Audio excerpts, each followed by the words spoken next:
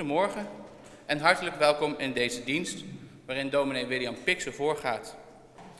Op het orgel worden we begeleid door André Havenkort en uiteraard beide van harte welkom. En natuurlijk de mensen in Wiegen die ons via de schermdienst kunnen volgen. En u thuis of op de camping die deze dienst via de stream kunt volgen. Vandaag zijn er bloemen voor mevrouw Meijer van Sloten, de heer Van D, mevrouw Nijland Mulder en mevrouw Kalf Noordermeer uit Druten. Zij waren allemaal jarig. Ook zijn er bloemen voor de heer en mevrouw Kuisten-Takers, die afgelopen uh, periode hun huwelijksjubileum vierden. Allemaal van harte gefeliciteerd. In Wiegen zijn er bloemen bezorgd bij mevrouw Nelleke Lansen, als goed vanuit de gemeente. Ook in Beuningen zijn er bloemen bezorgd. De eerste collecte van vandaag is voor de Casey Troy Foundation. De Casey Troy Foundation is een kleine stichting die is ontstaan uit de diaconie Wiegen en werkt in Cameroen.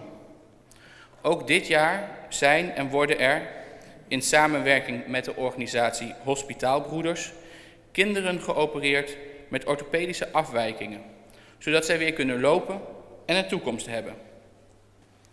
Ook malaria is nog steeds een groot probleem in Cameroen, zeker in de gebieden die ook nog eens getroffen zijn door de burgeroorlog.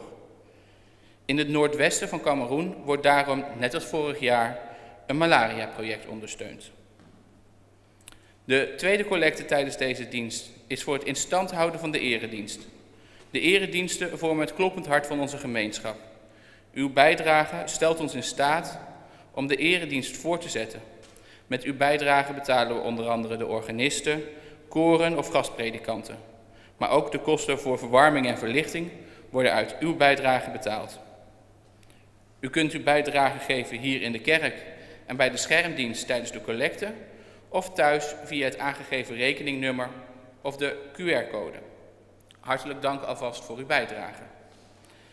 Dan uh, de diensten voor volgende week en de zondagen daarna. En als u een agenda bij heeft, zou ik zeggen, pak hem er even bij. Volgende week zondag, 16 juni, is er uh, om 10 uur dienst in Batenburg, waarin voorgaat Marieke Muijen. Uh, om 10 uur is er dienst in Wiegen, waarin voorgaat dominee William, William Pixen. In Druten is er om 10 uur dienst met als voorganger Marieke Meek. En uh, waarin ook uh, het koor van alle kanten zal zingen.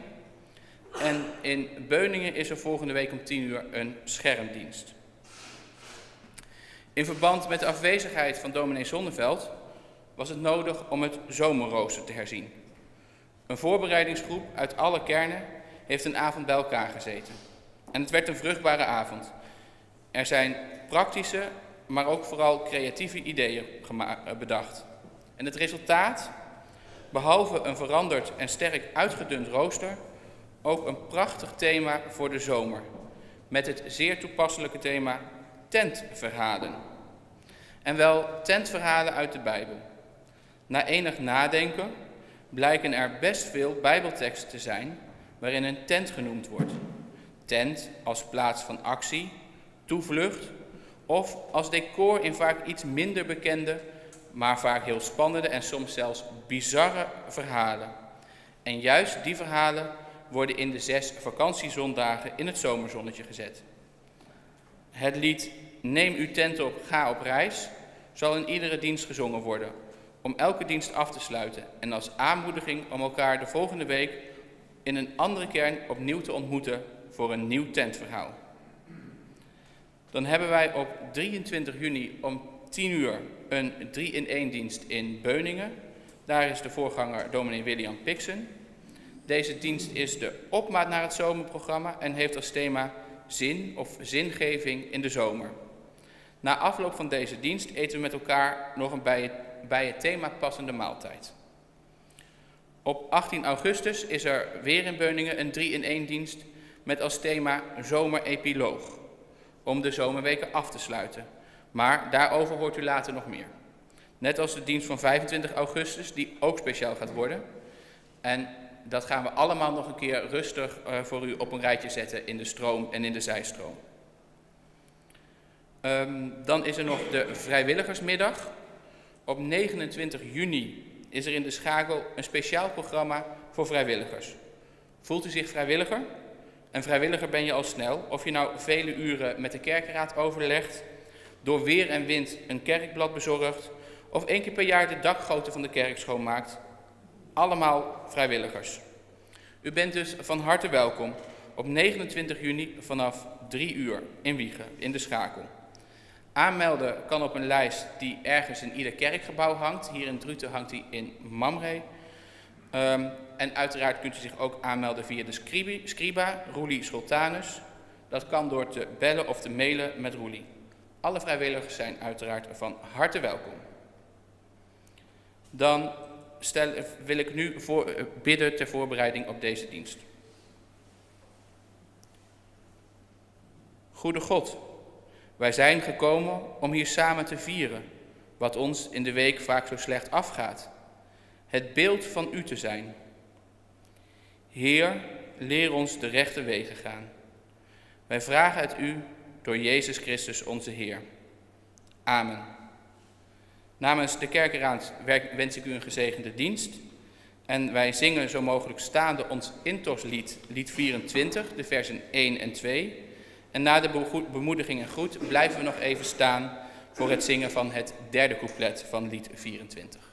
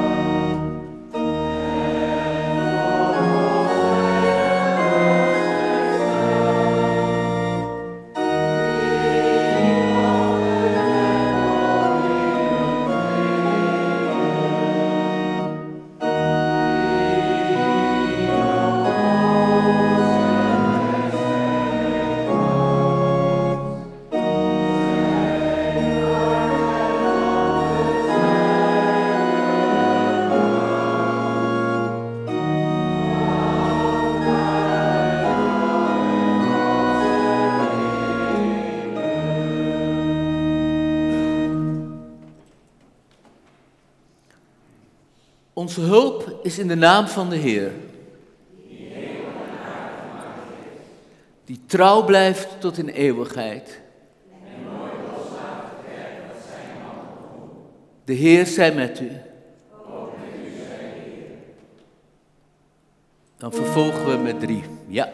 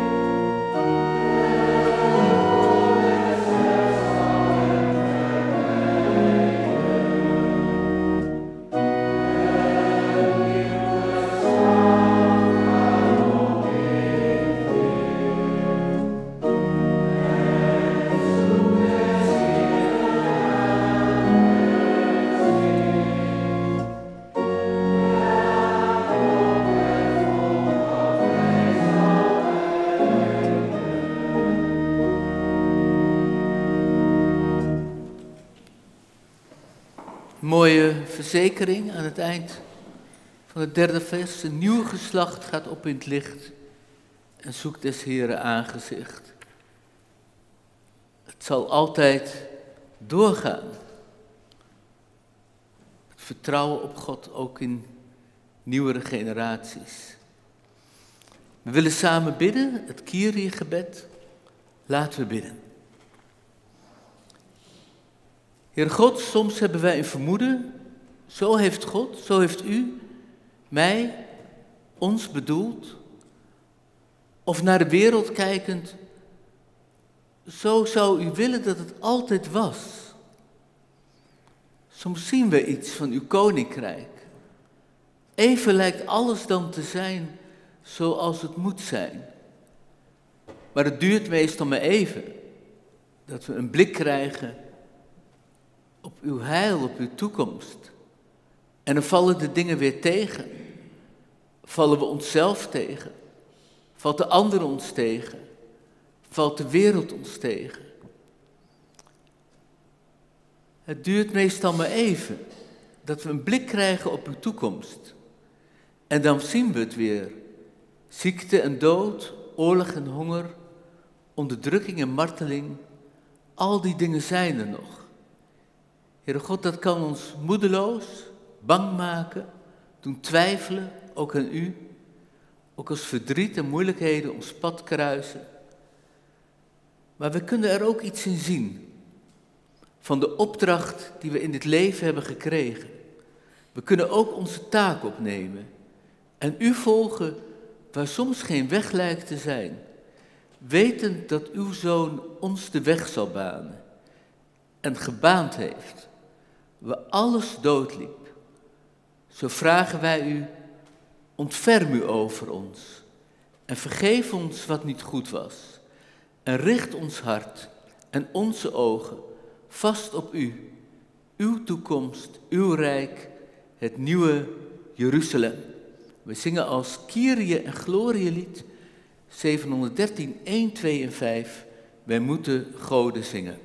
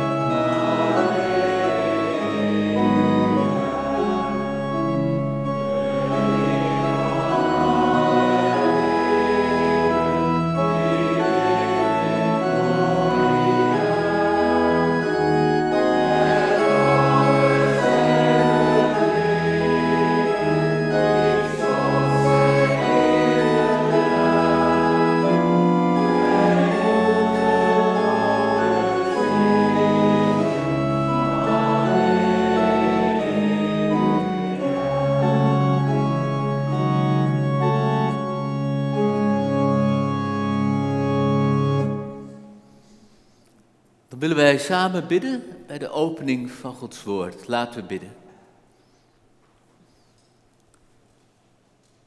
Heer, straks openen wij de Bijbel, uw woord voor ons. Help ons dat woord te verstaan. Verlicht ons daarom door uw geest.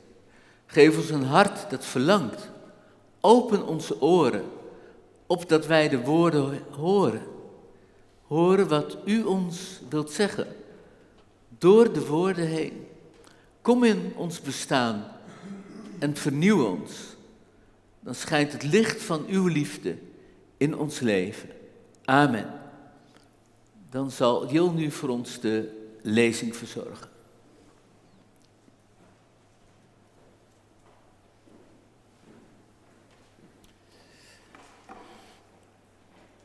Handelingen 6, de versen 1 tot en met 10. Conflict binnen de gemeente en verdere groei. Toen het aantal leerlingen toenam, ontstond er op een gegeven moment ontevredenheid bij de Griekstaligen, die de Hebreeuws sprekenden verweten dat de weduwen uit hun groep bij de dagelijkse ondersteuning werden achtergesteld. Daarop riepen de twaalf apostelen de voltallige gemeenschap van leerlingen bijeen en zeiden: Het is niet goed dat wij de zorg dragen voor de gemeenschappelijke maaltijden, want daardoor verwaarlozen wij onze verkondiging van Gods woord. Kies daarom, broeders en zusters, uit uw midden zeven wijze mannen die goed bekend staat en vervuld zijn van de geest. Aan hen zullen we deze, zullen we deze taak opdragen, terwijl wij ons zullen wijden aan het gebed en aan de verkondiging van het woord van God. Alle leerlingen stemden met dit voorstel in. Ze kozen Stefanus, een diepgelovig man, die vervuld was van de Heilige Geest, en verder ook Filippus, Prochorus, Nicandor, Timon, Parmenas en Nicolaus, een proseliet uit Antiochië. Ze lieten deze mannen plaatsnemen voor de apostelen, die een gebed uitspraken en hun daarna de handen oplegden.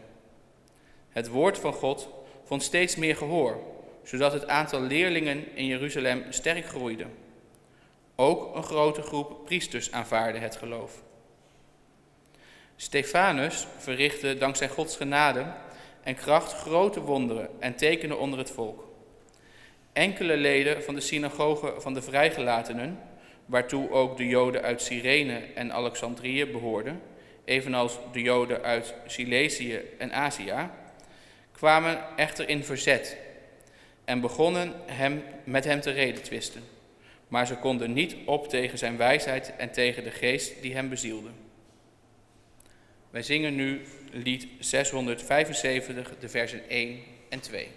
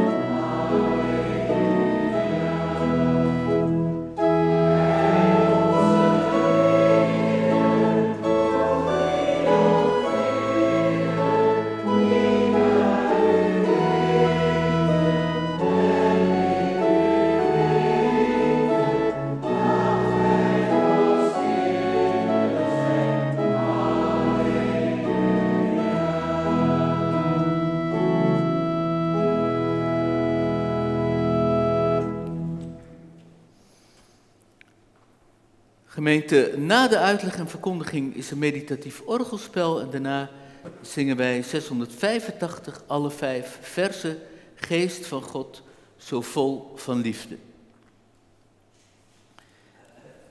Gemeente, even vooraf, conflict en uitkomst heb ik als kopje boven de dienst, boven de preek gezet. En ehm, dat komt omdat we nu hebben gelezen uit het boek Handelingen. En ja, je hebt een leesrooster en daar staan allerlei teksten in aangegeven. Maar er wordt ook vaak weer een derde mogelijkheid geboden en dat is nu ook het geval. En dat is een doorgaande lezing uit het boek Handelingen. En dat is eigenlijk een hele oude gewoonte. Dat in de zomertijd, ja, als alles een beetje tot rust komt en de, de grote feesten allemaal zijn geweest. Nu uh, kijken we nog een beetje terug op het Pinksterfeest, maar dat is alweer de derde zondag daarna. En dan gaan de lezingen vaak in die zomertijd, en die gingen ook vaak over het leven van de gemeente. Dus over de brieven uit de Bijbel en ook over het boek Handelingen, over de brieven uit het Nieuwe Testament. En de, ja, de, het Nederlands Bijbelgenootschap heeft boven die lezing gezegd conflict en verdere groei. Maar er zit iets tussen en daarom heb ik gezegd conflict en uitkomst.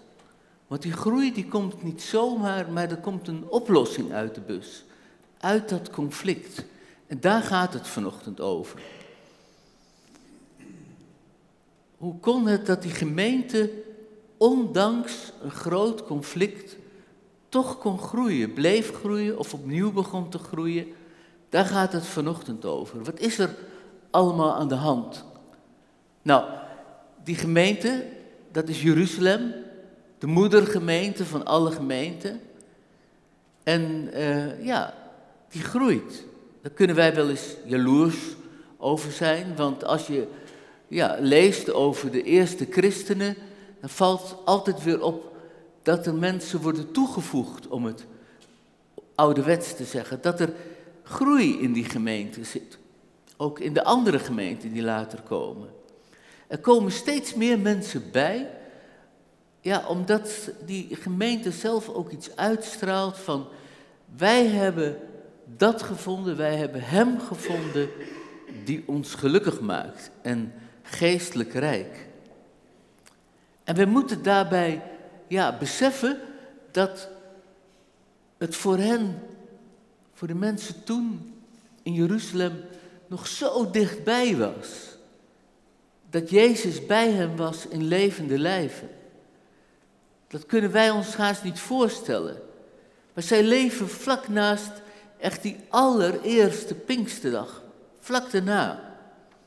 En Jezus is voor hen, ja, voor hun gevoel nog dichtbij. Hij was hun vriend. Hij was hun helper. Hij was hun troost. Hij was hun alles. En toen hij hen verliet, toen zond hij de Heilige Geest, het Pinksterfeest, een enorm gebeuren met vuur en wind en de apostelen die daardoor aangeraakt werden en gingen getuigen. En er kwam een enorme groep tot geloof en werd gedoopt. Ja, en dan wij. Wij leven op de derde zondag na Pinksteren. Maar die eerste Pinksterdag is wel bijna twintig eeuwen geleden. Dat is andere koek. Zij waren nog helemaal vol van dat alles. Jezus kruis, zijn sterven, zijn opstanding, natuurlijk allereerst dat hij op, ja, daar in Israël rond was gegaan, mensen had genezen, mensen had geleerd over God. En dan kwam de hemelvaart, het afscheid en tegelijk de komst van de Heilige Geest. En ze hebben dat gezien. Ze waren ooggetuigen. En wij, ja, wij nu, wij horen erover. Wij lezen erover, we denken erover na, we proberen het te begrijpen, dat grote gebeuren. Maar toch is het misschien voor u, voor jou en mij ver weg. konden wij dat maar. Zo dichtbij zijn als zij, als die eerste christenen. En natuurlijk, ze hadden ook fouten, net als wij, net zo goed.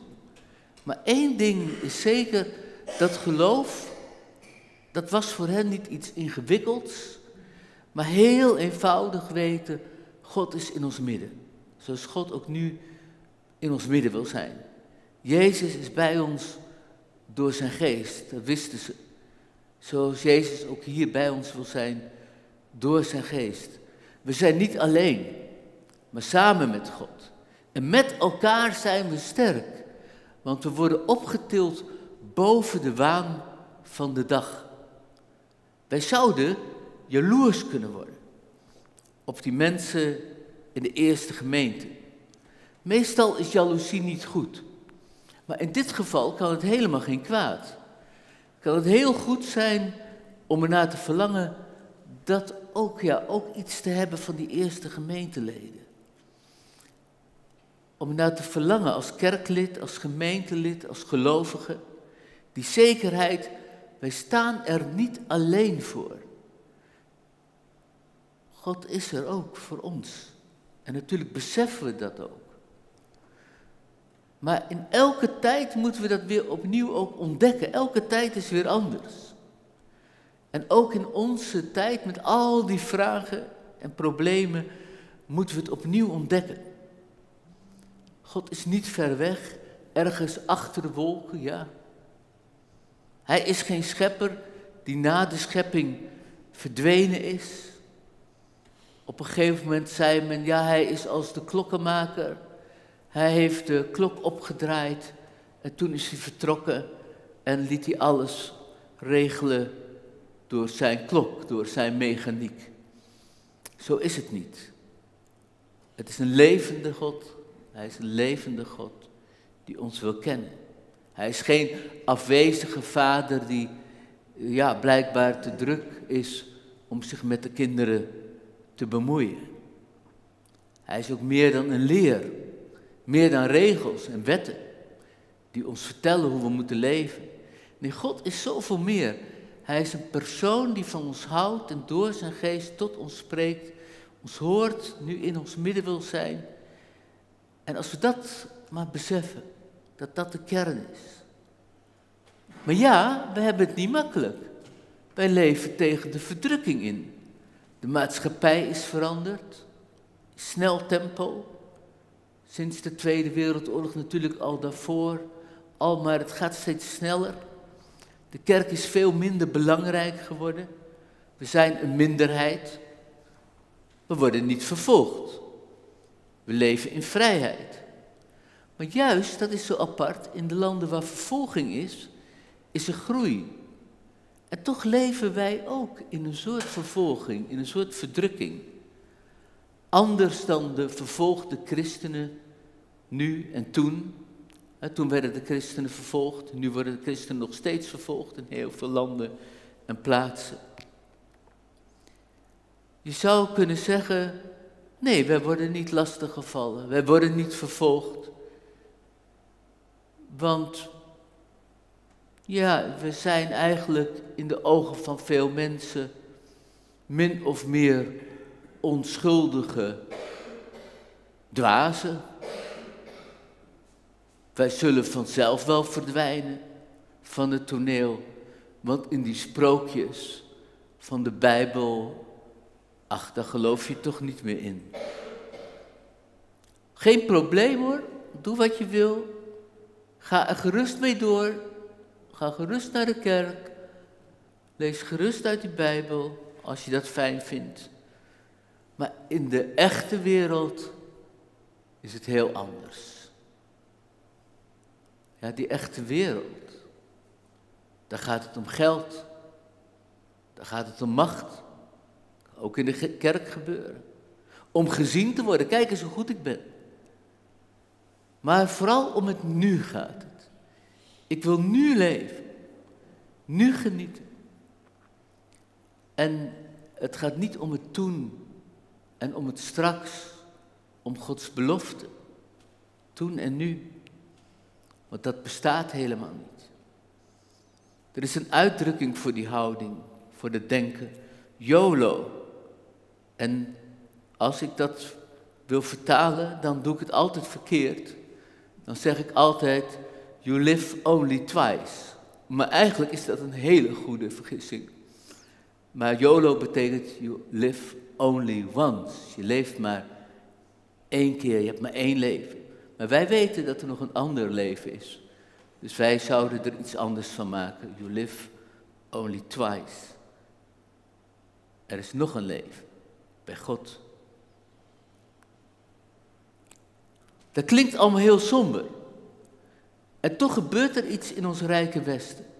De mensen die kiezen voor het geloof, die maken nu veel meer een persoonlijke keuze. In minder van zelfsprekendheid dan vroeger. Vroeger zat de kerk misschien voller, dat zou kunnen, maar er was ook veel gewoonte. Er was ook wel dwang soms. Het was ook vaak maatschappelijk wel handig om bij de kerk te horen, om ingeschreven te staan.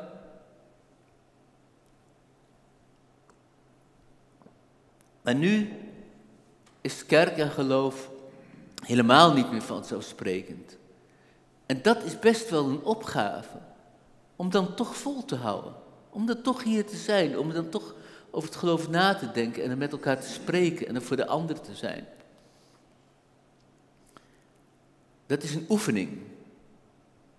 Een oefening die we moeten doen als we dat geloof, wat zo belangrijk voor ons is, voor ieder van ons, als we dat niet voor onszelf willen houden, maar het willen delen met anderen. Nou, en dat is wat er in die gemeente van Jeruzalem gebeurt. Ze groeit. En groei is positief, maar u weet het misschien ook wel. Groei brengt ook heel vaak problemen mee als er een snelle groei is.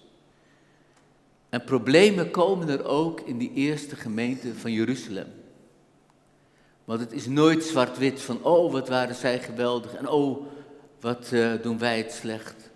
Nee, het is helemaal geen modelgemeente. Wat gebeurt er? Nou, ze komen elke dag bij elkaar om God te loven en te bidden en om samen ook te eten. Dat is in heel veel culturen nog zo. In Indonesië ga je naar de kerk, moet je vaak afstanden lopen. Dan neem je rijst mee, gewikkeld in een palmblad. En dan loop je ja, naar de kerk en dan wordt er samen gegeten ook. Na de dienst of voor de dienst, dat weet ik niet. Maar in die gemeente gaat er iets mis met die maaltijd. Er zijn twee groepen. De ene groep die spreekt Aramees. Dat zijn Joden die ja, een soort Hebreeuws praten. Hebreeuws was de taal van de geleerden, waarin de Bijbel ook is geschreven. Aramees de volkstaal over een heel gebied, heel uitgestrekt gebied. Denk aan Armenië, waar nog Aramees wordt gesproken. Maar de anderen, die zijn ook Joden. Maar de Joden waren ontdekkingsreizigers. Die bleven niet in Israël. Heel veel gingen op pad om te handelen, om nieuwe plaatsen te vinden, om nieuwe mogelijkheden te vinden. En dat ging allemaal rond de Middellandse Zee. En die anderen die zijn op reis gegaan.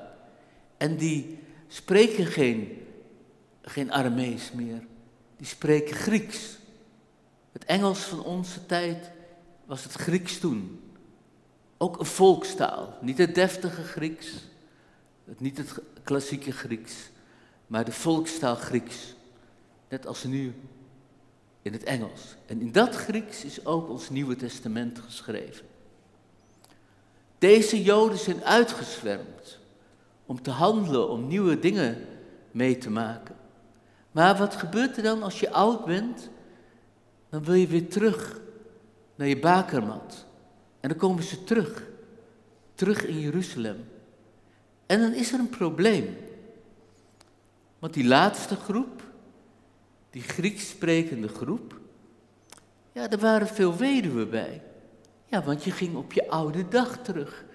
En de mannen, helaas, sterven vaak eerder dan de vrouwen. En er bleef zo'n weduwe achter. En zo'n weduwe had vaak geen status, had vaak geen bescherming. Jezus zegt, let op de schriftgeleerden en de fariseeën, die azen op de huizen van de weduwe. Zo erg was het. Zo weinig hadden die vrouwen in de melk te brokkelen. Als je alleen achterbleef. En als je dan geen geld had, ja, dan moest je het hebben van wat anderen wilden geven. En dat gaat er helemaal mis. Er zijn mensen, de Joden die altijd in Israël hebben gewoond, en die zeggen, wat moeten ze bij ons? Ze hadden toch in het buitenland kunnen blijven? Op hun oude dag, ja, komen ze terug naar Jeruzalem. Hun man overlijdt en wij draaien ervoor op. En ze zeggen, weet je wat we doen? Die weduwen die gaan hun eigen potje maar koken. We nodigen niet meer uit bij de maaltijden. Maar dat hoorde ook bij de samenkomst. Dus ze hoorden er niet meer bij, ze werden buitengesloten. Het gaat dus helemaal verkeerd in die gemeente. Er ontstaat gemor. Ja, bij die weduwen en bij hun families. Wij zijn tweede rangs gemeenteleden voor jullie. En wat doen de leiding dan? En dan ga je naar de leiding kijken. Wat doet de leiding nou? De apostelen. Verschuilen ze zich achter een wazig verhaal? Nee, ze roepen de gemeente bij elkaar en ze zeggen eerlijk: het gaat niet goed zo, wij doen het niet goed, wij kunnen het niet meer aan. De dienst van de verkondiging en de dienst van het gebed en de dienst van de tafel, zeg maar het preken, de geestelijke zorg voor de mensen en dan nog ja, die zorg dat iedereen te eten heeft, dat er dagelijks brood voor iedereen is, juist voor de weduwe en de wezen. Het groeit ons boven het hoofd. En dan komen ze met een voorstel. Zoek zeven mannen vol van geest en wijsheid. Dan dacht ik direct bij die mannen, ja, dat zijn dan weer mannen. Hè? We moeten ons niet voorstellen dat Israël toen een geëmancipeerd land was. Natuurlijk niet. Dat was gewoon niet zo. Maar we moeten ook daarbij beseffen dat de vrouwen in Israël en in de eerste gemeente, die later ook helemaal over het Romeinse Rijk uitwaaiden, dat de vrouwen daar heel belangrijk in waren. En de mannen traden vaak op naar buiten, maar de vrouwen hadden vaak ja, een groot huishouden, soms ook met bedienden, met kinderen, met familie. En daar was de vrouw de baas. En reken maar dat die mannen rekening houden met wat die vrouwen wilden en dachten. Ik ben bij een vriendin van ons geweest in Israël in 2014. En dan zie je, zij is Joods geworden, groot gezin, kinderen, kleinkinderen. Moeder die regelt de zaak. Ik zal niet zeggen, vader is er een beetje voor de, ja, voor de show. of om geld te verdienen. Maar moeder die regelt daar de zaak. En zo was dat toen natuurlijk ook zo. Dus ze zoeken wel die zeven mannen, maar dan moet je dan ook wel zeven vrouwen achter denken.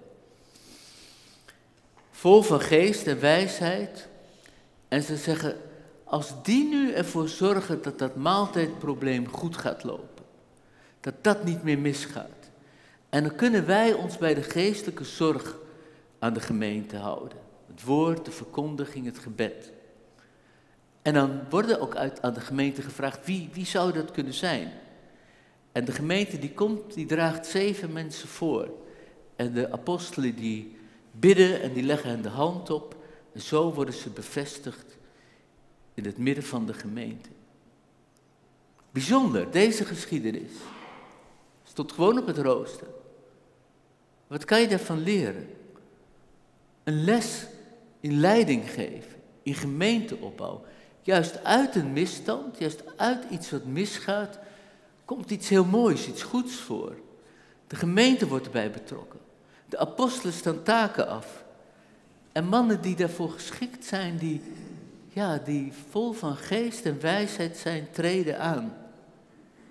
En de armen, de weduwe, de wezen, niemand wordt meer aan de kant gezet. Daar gaan zij voor zorgen. Deze geschiedenis is een geloofsverhaal. Het vertelt van het geloof in de gemeente. Een gemeente die mag morren als het misgaat. Een gemeente waar open kaart wordt gespeeld door de leiding. En die zich dat aantrekt en zegt, we geven taken terug. Maar ook dat er geloof is in de kracht van de gemeente. De apostelen vragen, kom gemeente, kom met je gaven, help ons. Neem verantwoordelijkheid, want we kunnen het niet alleen. En er komen nieuwe krachten die aantreden en aan de slag gaan. Deze geschiedenis is een verhaal over, ook over gemeentegroei. De gemeente wordt ingeschakeld en groeit. Het woord van God groeit. Het getal van de discipelen neemt toe. Zelfs een grote groep Joodse priesters wordt christen. Deze geschiedenis is juist, ondanks de problemen die er waren, een prachtig voorbeeld van wat gemeentes zijn is. Niemand is overbodig, niemand is onbelangrijk, niemand is lastig. Het gaat om eensgezindheid. Eensgezindheid is iets anders dan eenheid. Eenheid kan zijn, zo moet het en niet anders. Eensgezindheid is, wij leven in dezelfde geest, in dezelfde overtuiging. Dat is durven delegeren. Dat is wijsheid zoeken. Liefde voor elkaar. Juist voor die ander die het moeilijk heeft. Dat is zelfreflectie. Doe ik het wel goed? Ja. Doe ik het wel goed? Dan moet je dat besef hebben, het gaat niet om ons, het gaat niet om mij, maar het gaat om Hem die het hoofd van de gemeente is. Jezus zelf, die in plaats van te heersen diende. En dan kunnen we ook veel ja, teleurstelling, verbittering, dingen die tegenzitten, die kunnen we dan hebben. En dan kun je zeggen, wat is het geweldig om toen, maar ook om nu gemeente te zijn. Die kloof van 2000 jaar wordt hier dit stuk zo opzij geschoven. Wij mogen gemeente zijn, gemeentelid, net als zij, niet om te heersen, maar om te dienen, om Hem te dienen. Die kwam om te dienen. Dat is nu het geheim van het evangelie. Na al die eeuwen nog, steeds zo dichtbij, voor hen, toe, voor hen toen en voor ons nu. In lied 713, het tweede vers, staat het heel krachtig. De minsten allermeest. Daar gaat het om. Amen.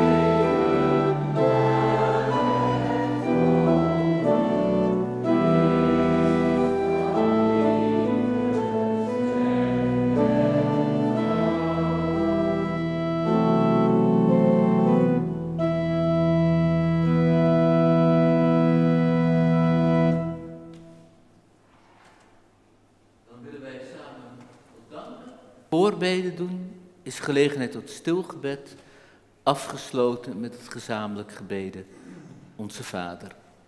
Laten we bidden. Heere God, wij danken u ervoor dat er bij u een nieuw begin is. En dat u een God bent die we kunnen vertrouwen. Omdat u uw schepping en uw mensen vasthoudt. Ook wanneer wij u loslaten. Wij bidden u voor deze wereld, voor ons land, waar de tegenstellingen soms zo groot zijn. Wij bidden u voor Europa, voor die Europese gemeenschap, voor die verkiezingen waar de uitslag binnenkort van komt. We bidden u dat Europa ook een waardegemeenschap mag blijven, waar vrede en verdraagzaamheid mag heersen, waar ook het geloof in u een plek heeft. En waar ook oog is en hulp blijft voor de Oekraïners die zoveel te verduren hebben. Wij bidden u, geef vrede, Heer, geef vrede. En doe ons ook beseffen hoe bevoorrecht wij zijn. Wij bidden u ook voor allen die vervolgd worden, om hun geloof en overtuiging, voor de vele christenen op deze aarde die hun leven niet veilig weten, in India, in China, in Iran, in delen van Afrika, in zoveel andere gebieden en landen in de wereld. We denken ook aan het volk van Cameroen, waar een burgeroorlog is. Doe ons zo beseffen hoe bevoorrecht wij zijn. Dat we kunnen en mogen geloven. Dat we naar de kerk kunnen en mogen gaan. Zo bidden wij u ook voor uw kerk wereldwijd. En ook hier bij ons. Dat wij een hechte en trouwe gemeenschap mogen zijn. Wees ook bij de gemeenteleden die het moeilijk hebben door ziekte of verdriet, om het gemis van een ander, recent of langer geleden, maar het gemis blijft. Wees gij ons allen nabij en help ons als gemeente naar elkaar om te zien. Heer, wij vragen u, hoor ons, als we in de stilte van deze ochtend voor u uitspreken wat geen ander voor ons zeggen kan.